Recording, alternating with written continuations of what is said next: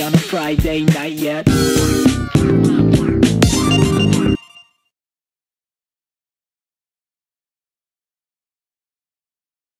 Three, two, one.